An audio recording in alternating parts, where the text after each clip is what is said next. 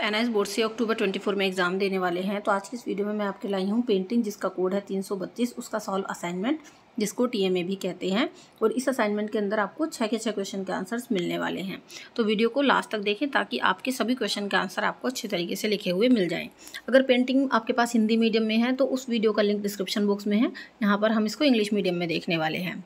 अगर आपको असाइनमेंट के सोल्यूशन की पीडीएफ चाहिए, अपने ऑल सब्जेक्ट्स की या फिर आप अपने असाइनमेंट बनवा करके अपलोड करवाना चाहें तो आप हमसे इस नंबर पर कांटेक्ट कर सकते हैं। ये नंबर आपको डिस्क्रिप्शन बॉक्स में भी मिल जाएगा। तो चलिए यहाँ पर मैं आपको दिखा देती हूँ पेंटिंग का सॉल्व असाइनमेंट यहाँ से आपका असाइनमेंट का सोल्यूशन शुरू हो रहा है। जो हमारा फ़र्स्ट क्वेश्चन है, इसका आंसर आपको फोर्टी टू सिक्सटी वर्ड्स में देना है। ठीक है? जितने भी हमारे असाइनमेंट होते हैं, वो हम एक्सपर्ट टीचर्स के थ्रू आपके लिए तैयार करवाते हैं, जिन पर आपको एक्सीलेंट मार्क्स मिलते हैं। तो इनमें एग्जैक्ट वर्ड लिमिट का ध्यान रखा जाता है और एग्जैक्ट आंसर का ध्यान रखा जाता है। सेकंड क्वेश्चन का आंसर भी बच्चों आपको फोर्टी टू सिक्सटी वर्ड्स में ही देना है। तो फर्स्टली आपको क्वेश्चन लिखना है और उसके बाद इसका आंसर आपके सामने है, ये रहा।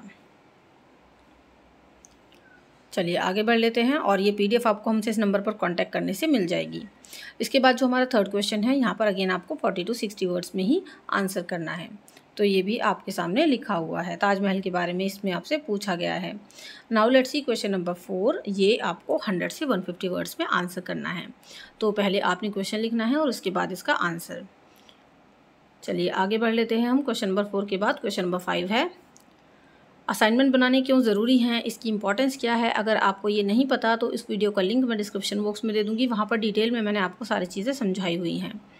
इसके बाद हमारा क्वेश्चन नंबर सिक्स है, जो कि प्रोजेक्ट बेस्ड है, जिस पर मोस्टली बच्चे अटक जाते हैं तो यहाँ पर आप देख सकते हैं, इसका आंसर भी हम आपके लिए लाए हैं। तो ये रहा आपका छठा क्वेश्चन पहले आपको क्वेश्चन लिखना है देन इसके बाद इसका आंसर अब देखिए, क्योंकि आपकी पेंटिंग सब्जेक्ट है तो इसमें आपको पेंटिंग का भी यूज़ करना है दैट मीन्स आपकी इमेजेस भी यहाँ पर लगेंगी। सो यहाँ पर आप देखते हैं। जब आप हमसे पीडीएफ लेते हैं तो आप इनका इन पेंटिंग्स का मतलब इन पिक्चर्स का जो है प्रिंट आउट निकलवा करके उसको यूज़ कर सकते हैं।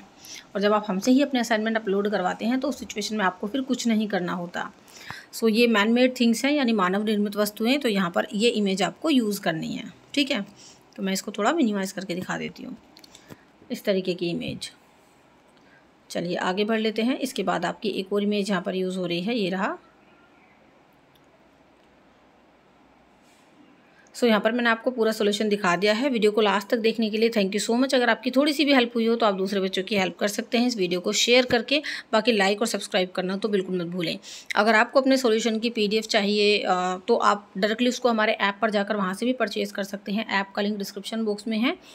और इसके अलावा हमारे टेलीग्राम को ज्वाइन कर लेना, उसका लिंक भी डिस्क्रिप्शन बॉक्स में है। तो चलिए और नेक्स्ट वीडियो मिलते हैं। जल्दन keep studying bye study thank you so much and good bye